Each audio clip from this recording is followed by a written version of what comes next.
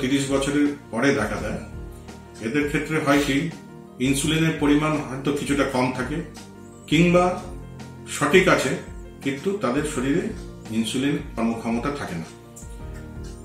এই কারণে ব্লাড সুগারের ওষুধ তাদের ব্যবহার করতে হয়। টাইপ টু ডায়াবেটিস অ্যাকচুয়ালি হয় কি তাদের যে ইনসুলিনটা তাদের কর্মক্ষমতা হয়, তাকে আমরা ইনসুলিন রেজিস্ট্যান্স বলি।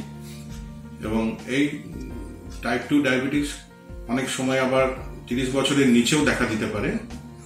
সাধারণত তাদের ওবিস ইয়ং অ্যাডাল্ট এদের ক্ষেত্রে দেখা দিতে পারে।